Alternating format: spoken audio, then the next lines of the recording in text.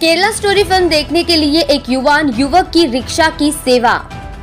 Film देखने जाने वाले परिवार को मुफ़्त रिक्शा सेवा। चलथान की विजय भाई भरवाड़ सिनेमा तक पहुँचने के लिए फ्री रिक्शा सेवा दे रहे हैं। सूरत का कोई भी सिनेमाघर में फ़िल्म देखने वाले परिवार को मुफ़्त में फ़िल्म देखने पहुंचाएँगे।